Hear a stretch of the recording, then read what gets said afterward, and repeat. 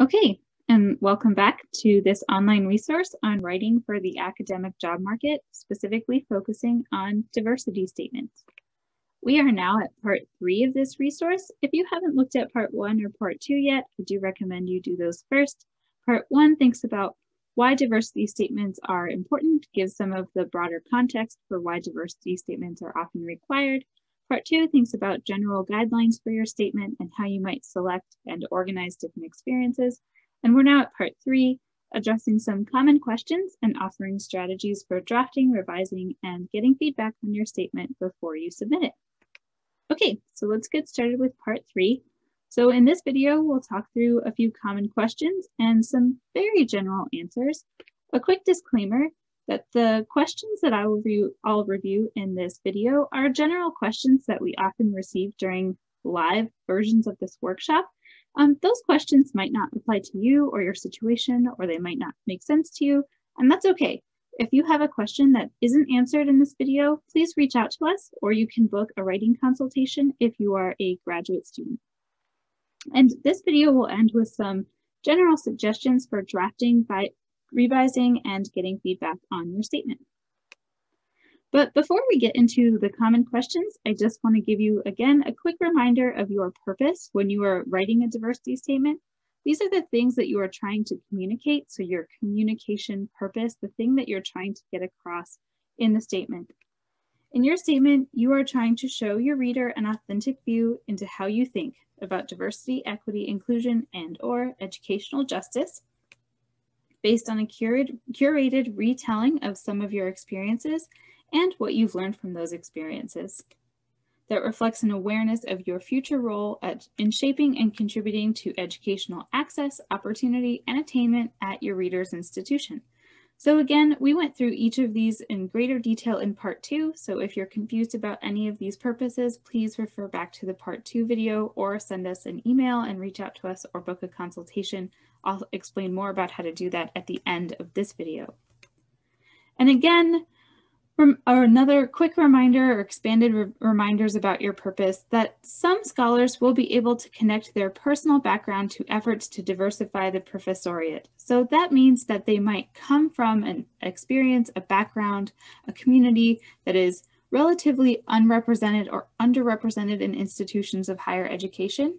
And in that case, they should certainly talk about that. And if that applies to you, you should talk about that if that is an important and authentic part of your experience, and especially an important part of how you will pursue being an educator, being a faculty at an institution of higher education. That is an important way to talk about diversity, equity, and inclusion.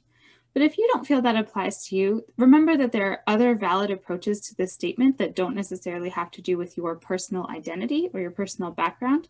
And again, I want to re recommend and emphasize that you should be authentic and show that you've thought carefully about your experiences and that you take your role and your role as a person in this institution very seriously.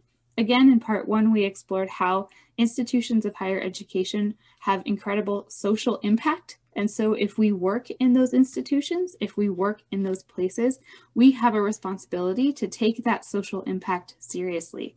And so that's what you're trying to come across. Uh, that's what you're trying to communicate in this statement, that you've thought about that, that you take it seriously, and you have real ideas for how you want to be an inclusive professional in this environment. And again, remember that diversity and equity and inclusion in higher ed is everyone's job. Ultimately, the goal is that you should learn something by writing your diversity statement. Learn something about yourself, learn something about the institution you've been working in, about the institution you are applying to work in, or about higher education more broadly. So as a reminder that there's lots of different kinds of content that you might put into this statement, but the goal is the same that you want to show that you've thought really carefully about what your responsibilities are and what you might do to create a more inclusive and equitable educational environment for people. And that is true regardless of your discipline, your field of study, or your research area. So here are some common questions. Again, these are questions that we often receive in live in-person versions of this workshop. So I'm going to review some of these questions that we often get and some very generic answers. Again, the disclaimer that this question or these answers might not apply to you and they might not apply to all situations. So you can reach out to us um, if you have further questions. You can book a writing consultation to get readers feedback. But the most important thing that you can do if you have specific questions about yourself or your statement or a draft you have in progress is just to get readers feedback. You should ask readers for their um, thoughts, their impression. You should ask a reader the question that you have lingering in your mind to see if that's coming across for your reader as well.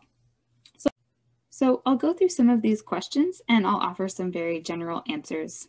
Um, so some folks ask, how much do these statements really matter? Is this just one requirement among many requirements for an academic job application? And I would generally say they matter. Don't treat this as just a box to check.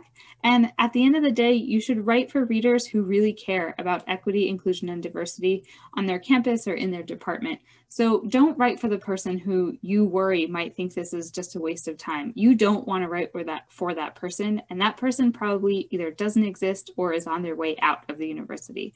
You should write for people who you believe really care about creating more equitable environments for students and for professionals in higher education. You might be wondering if the audience is expecting an autobiographical account of barriers, right? Do I need to talk about the different ways that I've overcome challenges in my life? Is that what a diversity statement is for? Well, yes and no. The audience that is going to be reading your uh, statement does expect to learn about you. So in some ways, your diversity statement must be autobiographical. We did talk about this in part two and also in part one, that your statement draws upon your experiences and what you've learned from those experiences to shape um, and to communicate how yourself as a future faculty will be shaped and grown from that experience. But you don't necessarily need to include discussions of barriers or challenges that you've overcome. However, you should include a discussion of those challenges if they do genuinely apply to your educational journey and if they shape how you will approach your role as a faculty member or higher education professional. So if those challenges are actually quite meaningful to you and they will shape who you will be, your future self, your best future self in this role, in this professional environment, you should absolutely address those and focus on how they've shaped you and how they will continue to shape you in the future. Um, some folks often ask that they um, what they should prioritize and what they should choose because they feel like they have a lot to write about. So these might be folks who feel like they have a lot of backgrounds and identities and communities that they might want to be speaking from and from their experiences, or that they are really involved and they have lots of potential experiences to choose from. If that's so, um, great, that's awesome, that's great. Um, you should prioritize, though, the experiences that have been most impactful for you. So if you have a lot of experiences that you think you could draw upon, it would be very hard to write about all of them. And remember, in part two, we talked about that it's important to resist the urge to list because listing doesn't necessarily show deep engagement or deeper thinking, and it also encourages your reader to skim. And so if you have a lot that you could potentially talk about and you're not sure what to prioritize, I'd recommend focusing on those experiences that have been most most impactful for you in their significance or the lesson, the thing that has really taught you something about yourself, about the institution, about education, about society, or about how you want to engage with your future professional role.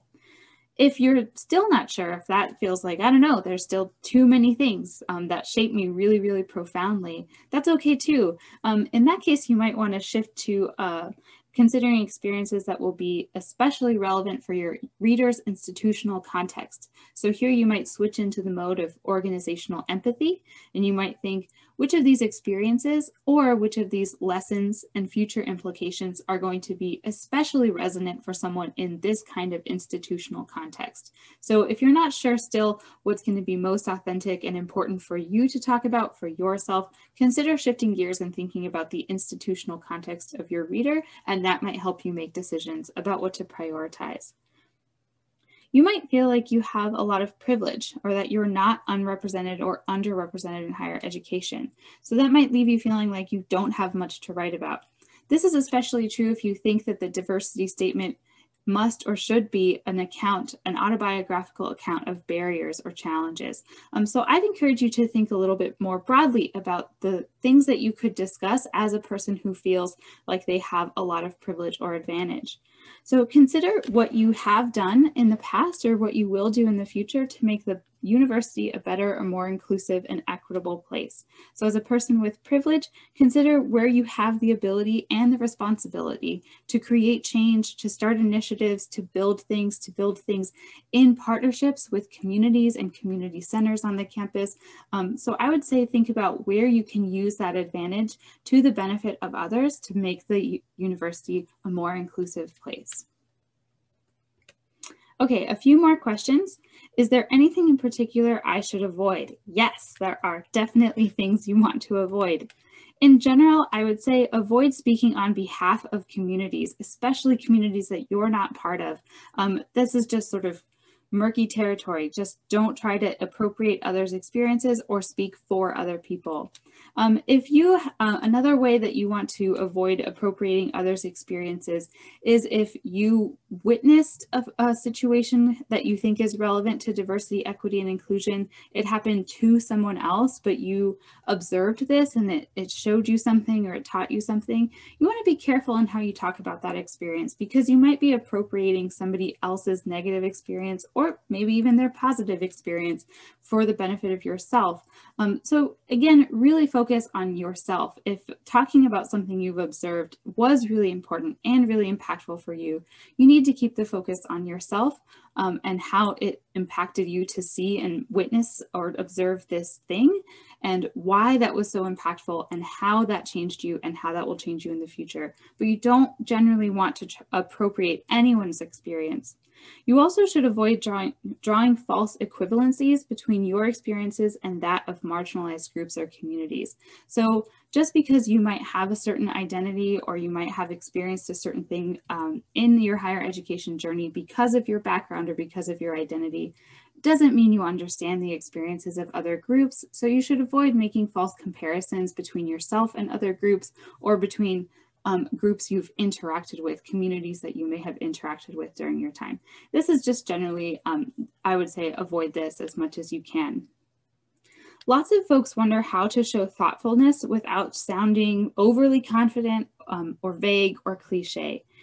And again, I would recommend centering your statement on your experiences and the lessons you've learned and to be explicit and sin sincere in the way that you talk about how these experiences have shaped you. Again, remember that what you choose to focus on and how you choose to talk about it and the lessons that you say you've learned and will apply in your future as a result of that experience. All of those things show how you think. So focus your, on your experiences and the lessons you've learned.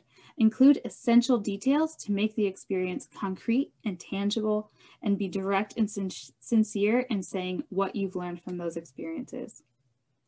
You might be wondering if you should use certain buzzwords. There's lots of buzzwords circling around in the field of higher education, um, not only related to diversity, equity, and inclusion, but also related to other aspects of our work.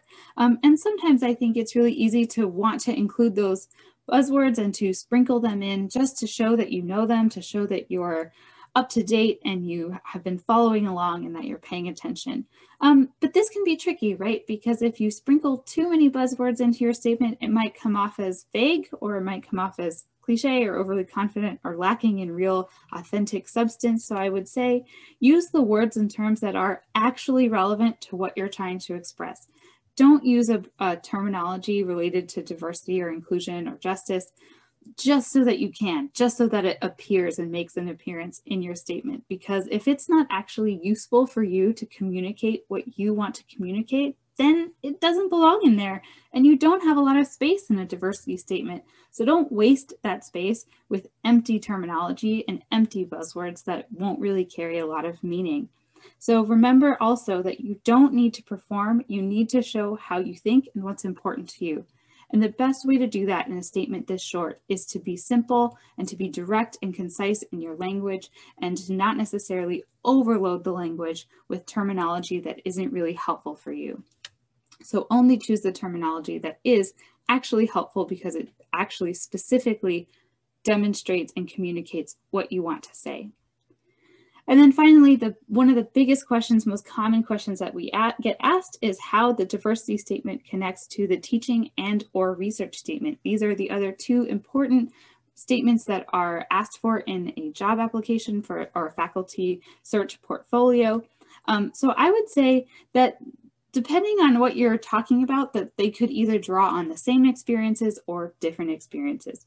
So if your teaching statement and your diversity statement focus on entirely different experiences, that's fine. I would say the diversity statement and the teaching statement are quite similar in how they're organized, in that they both are grounded in themes, they use experiences to demonstrate and provide evidence for the thing that you say you care about, and they show what you've learned from those experiences and how that lesson will shape you as you go forward into the future.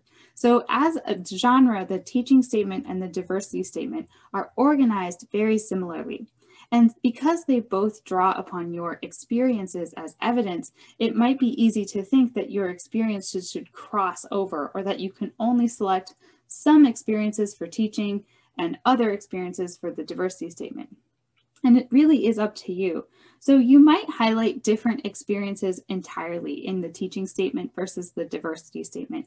It really just depends on the lessons and the implications that you want to highlight.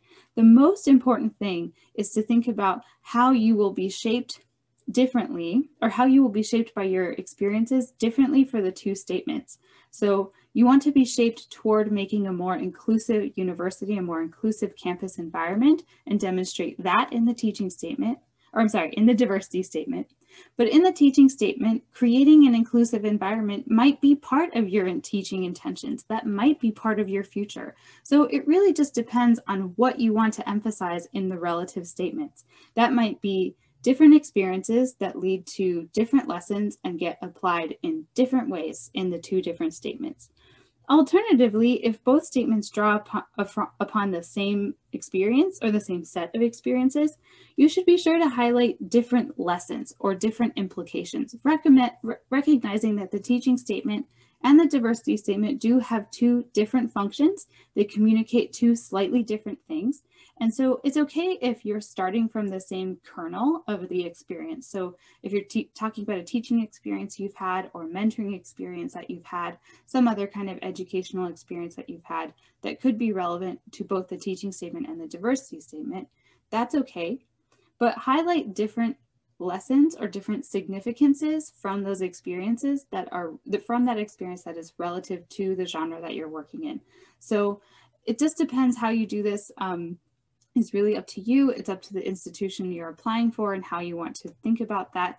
But this is my general advice. And if you have further questions about that, you can certainly get a consultation or reach out to us over email and we can help clarify for your particular situation even further. Okay, so we're nearing the end of this resource and I want to offer some concluding thoughts on drafting and revising and getting feedback. But first, I want to take give you a quick note on samples. Most of us have never written a diversity statement before, and if we have, maybe we've written one or two, and it might have been when we are applying to graduate school. Um, we don't have a lot of practice in this genre. So it's really easy to go online and to Google or to search for examples of diversity statements or examples of other personal statements just to help us get a sense of what we're doing. And again, that's because we don't have a lot of familiarity reading or writing in this genre. And so that's perfectly understandable but you should be mindful of models. Be mindful of any diversity statement that you find online. There's a reason for that, and that's because statements are all over the map. Remember that the content will be widely varied because all of us are very different and we all have very different experiences and backgrounds and journeys through education. And so a model is not necessarily going to show you what to include or what you should include because that's up to you and the life you've had. So again, remember this won't speak to your experiences, your values, or your future goals. I would also recommend not looking at these samples as, or these models as things to emulate, because emulating models from others can often lead to bland, cliche, or vague statements. And again, that's because the information that is included in the example might not be relevant to your experience. So you want to again focus on yourself and what you want to convey and be mindful of the models that you, you find. It is okay to look for models. It is okay to look for examples, especially because we don't have a lot of familiarity with this genre. But I would say to use the models more generically, meaning look to the models for features of the genre and less for features of content. So you can look to models for to see how things are organized, to see how writers make transitions between ideas or between different paragraphs. You might look to different models to see if there's an average length or a sort of acceptable minimum and maximum length. And you might look to see just the kind of language that they use. Do I see a lot of terminology in here? Is this more direct, simple language? Um, so you can look for the features of this genre in the examples that you find but don't look to them for uh, don't look to them for content ideas and substantive content, right? And that's for all of the things that I've just said. And I would recommend instead of spending your time searching online for models of diversity statements, just spend that time thinking about yourself. Spend that time considering your values, your interests, brainstorming ideas, researching broadly um, topics on educational equity or researching the institution or institutions that you're applying for and seeing what kind of initiatives or projects they have going on. See what you can learn from their institutional research department about the statistics for their enrollment and maybe their attrition, which is the people who drop out versus completion, right? So you can spend the same amount of time that you would normally spend looking for examples and reading examples online and just channel that time into more sort of productive brainstorming and research activities that will be more relevant to you as a writer for your statement. Okay, and when it's time to start writing, you've looked at some, some models and now you're ready to start writing. Again, I wanna say spend more time in the brainstorming stage, not less. Remember that your first purpose in the statement is to demonstrate an authentic view into how you think. So in order to do that, you should spend some time thinking about how you think. Um, and also recognize that the more time you spend in the brainstorming stage, the clearer your ideas become.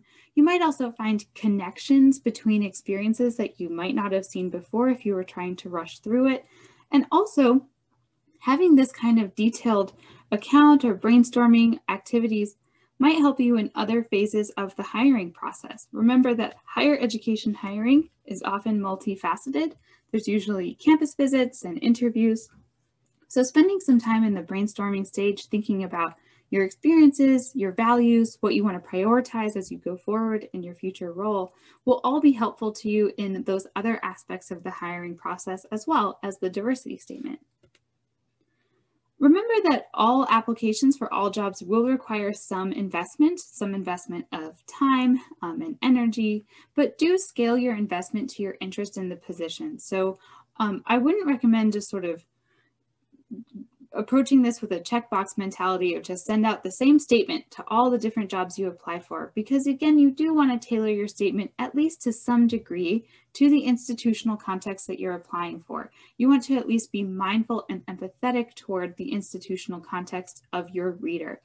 However, um, I recognize you might be applying for lots of different jobs and you might not have the time to do that really delicately and really carefully for all of the job applications you're preparing. And that's okay, but do scale your investment of time and energy to your interest in the position. So if this is a position you really care about and it's an institution you really want to be a part of, do let your investment match your interest. So spend more time thinking about the institutional context of your audience and trying to get a sense of if the lessons that you've learned from your experience will resonate with that audience or if the future implications for your experience, how you want to be shaped in the future, will be resonant and relevant to an audience in that context.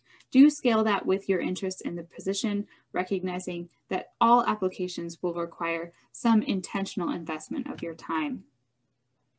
When you start writing, I recommend just free writing it first. Don't worry too much about getting the ideas right or making it sound um, sparkly or making it sound smart or even making it sound simple and direct. Just get ideas out there. Just free write as much as you can.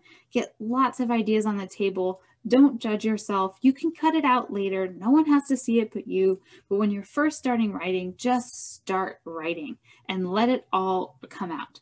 Just write freely. When you start working on this as a more sort of polished draft, or even when you're thinking about how do you take what you've free written and turn it into something that looks like an actual statement draft, you should start talking about your ideas in addition to writing them. Remember that having a conversation with someone where you are forced to articulate the thoughts in your head in real time can be hugely beneficial because that conversation can create clarity, especially if you can have a conversation with someone who can ask you follow-up questions like, what do you mean by that? Or can you tell me more? Or what experience leads you to that idea? All of those kinds of questions and having to answer those kinds of questions can be really beneficial for your thinking. So remember to talk about your ideas in addition to writing them. When you're writing and when you're, especially when you're at the point where you're working on a draft, a draft in progress, imagine a human reader. Don't imagine a kind of academic machine.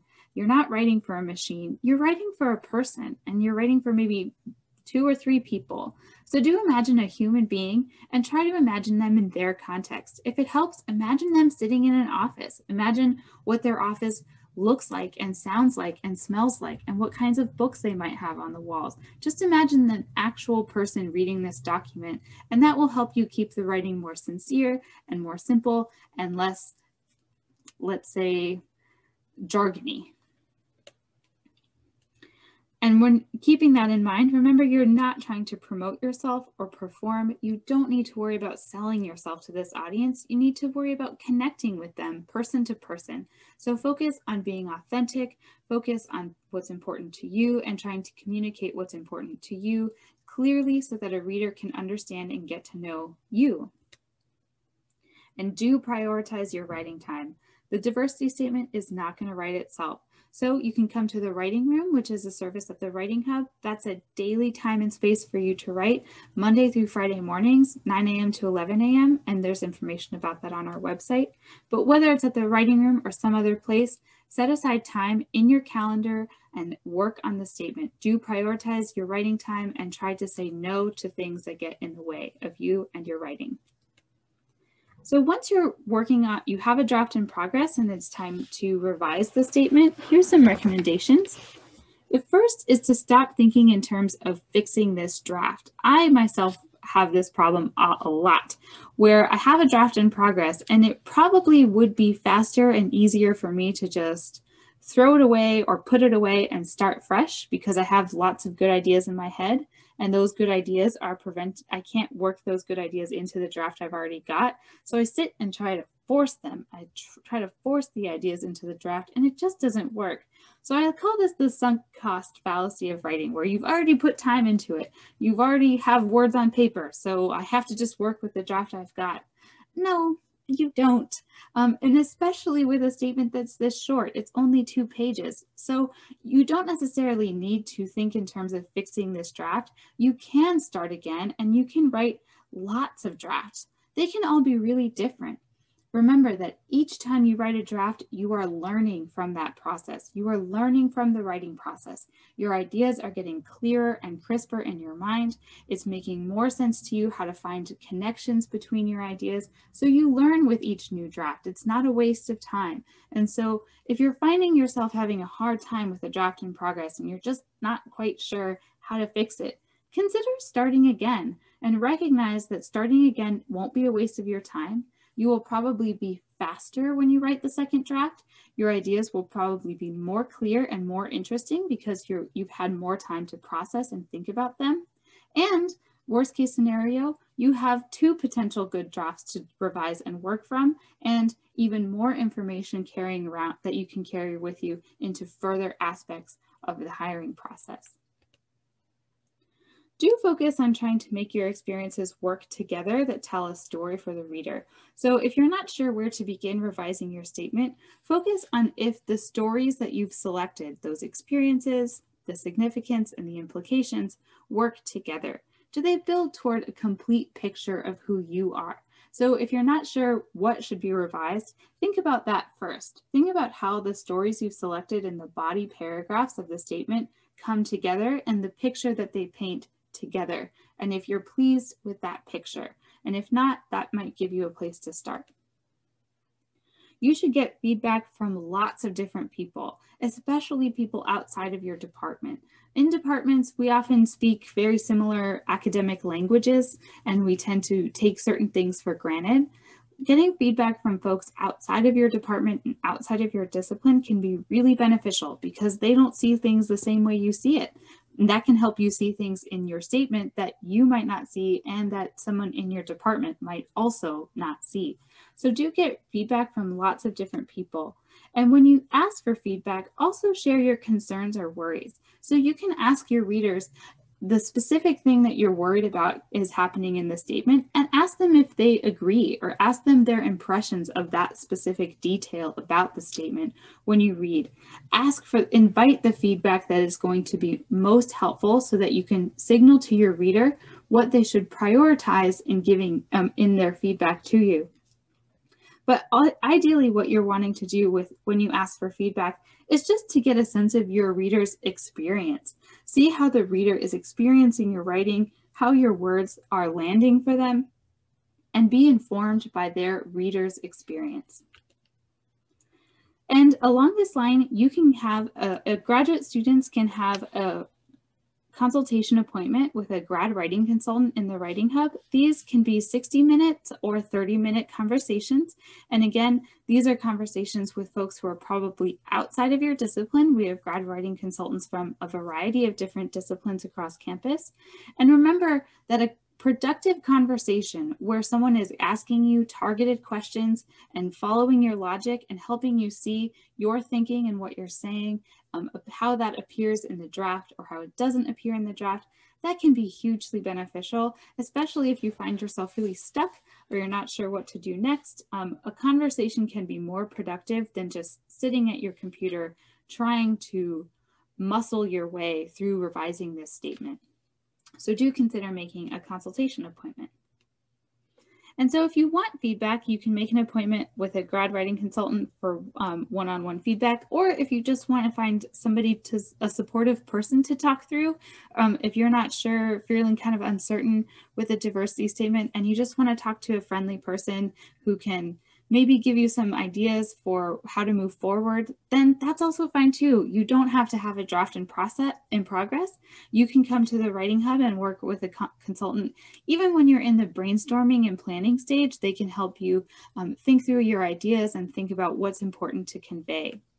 So if you're a graduate student and you would like to book a writing consultation with one of our grad writing consultants, you would just go to our website, writinghub.ucsd.edu, hover over the Grad Students tab, and then click on Make an Appointment.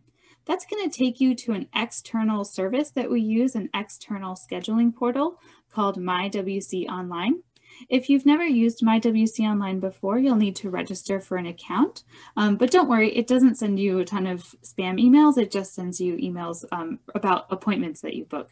So once you register for an account, you can log in. You will need to use your ucsd.edu email address, and you can select the grad appointment schedule and see consultants availability, and you can self-select and self-book your own appointment with the consultant of your choice who's available at a convenient time for you.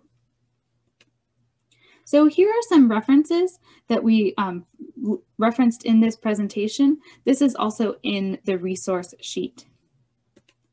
And with that, I want to say if you still have questions about the diversity statement, please reach out to us. We are here to support you. And of course, you can book an appointment with a writing consultant if you are a graduate student. But if you have other questions or you're not a graduate student, please reach out to us. If you want questions about writing the diversity statement, how to um, think through ideas or how to communicate those ideas, please reach out to uh, the Writing Hub at writinghub at ucsd.edu. If you want to talk through about how your diversity statement and your teaching statement um, both overlap and also how they can be distinct, or if you generally want to think about how diversity and teaching are connected, um, or inclusion and teaching are connected, you can reach out to the Engaged Teaching Hub, and that's at engagedteaching at ucsd.edu. With that, I want to thank you for your time and attention in using this resource. I hope you found it helpful and do please connect with us. We look forward to working with you on your diversity statement.